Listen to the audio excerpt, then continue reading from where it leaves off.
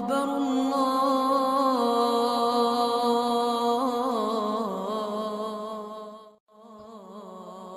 الله أكبر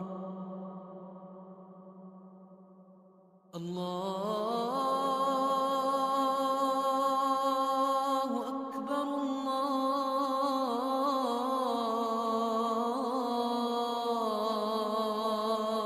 Dito po الله tayo ngayon sa lugar ng Quiapo upang makapanayam ang ilan sa ating mga kababayang Muslim tungkol sa kanilang pamumuhay dito sa Kalakalang, Maynila at para na rin mapalawak pa natin ang impormasyon tungkol sa kanilang relihiyon.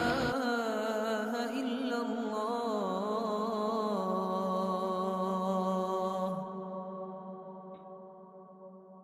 أشهد أن لا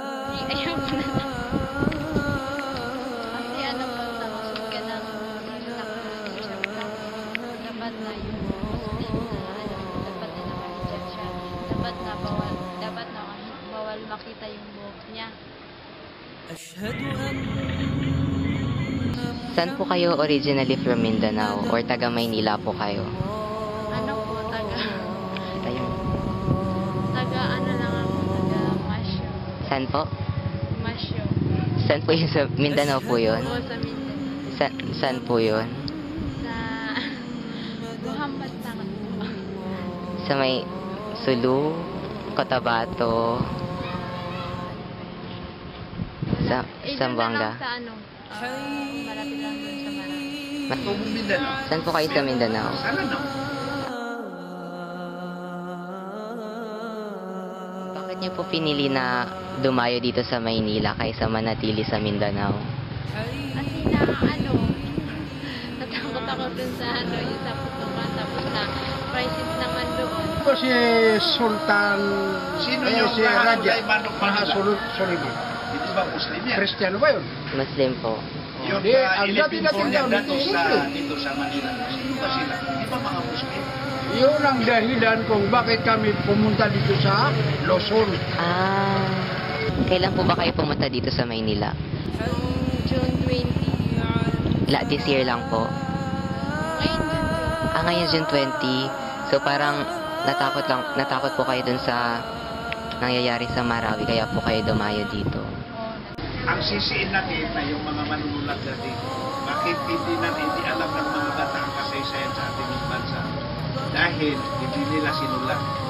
Alam mo, ang pumatay kay uh, Magellan, sila pula po, ang binigay lang sa kanya para hindi makalimutan yung pala pangalan niya, binigay sa pangalan ng isda. Doon lang.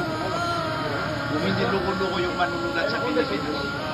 Ang Pilipinas, kung tutuusin, kung napa, ang Pilipinas, pag-aari ng Muslim.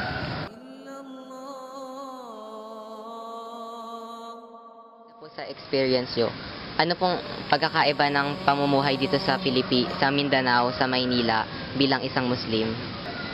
Ang Mindanao ay karamihan dyan magsasaka. Eh dito naman nanininda. O tingnan niyo mga tinda ng mga Muslim dito. At saka mga may trabaho. May mga kapamilya po kayo na, na, na nasa Mindanao pa? Opo, uh, yung, yung ano ko, yung isa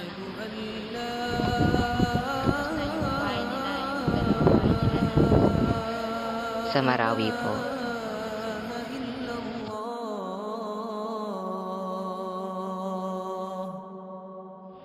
Kasi na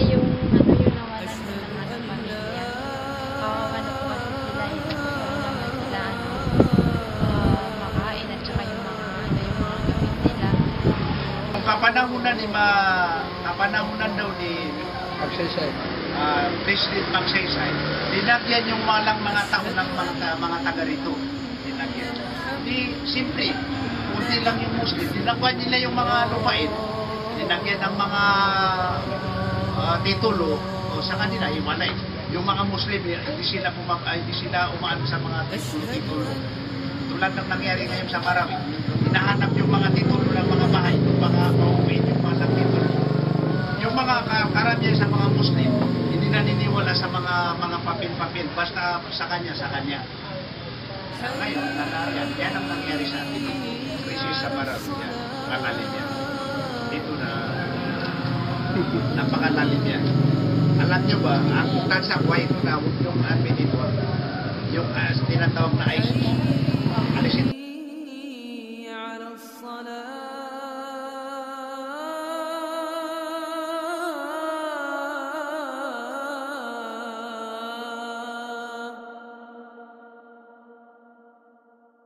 حي على الفلاح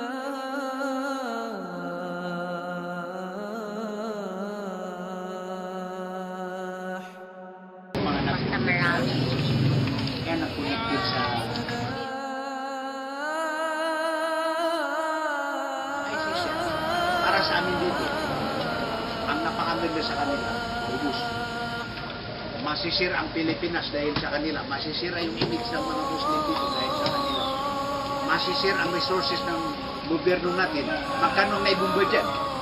Marami. Baka 10 billion na ang halaga ng bomba na kung napakain na lang yan sa mga tao sa atin o nai, naigawan ng mga kalsada kung para sa mga tao. Di malaki-laki na yan. Ipinaputok lang doon dahil sa kalooban nila. So, naniniwala po kayo na yung ISIS, ginagamit lang po yung pangalan ng mga Muslim.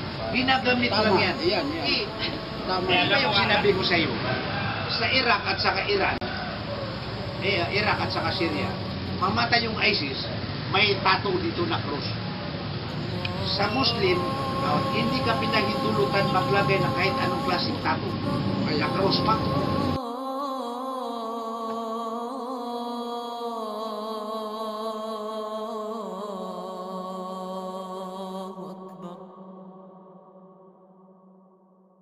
أشهد أن لا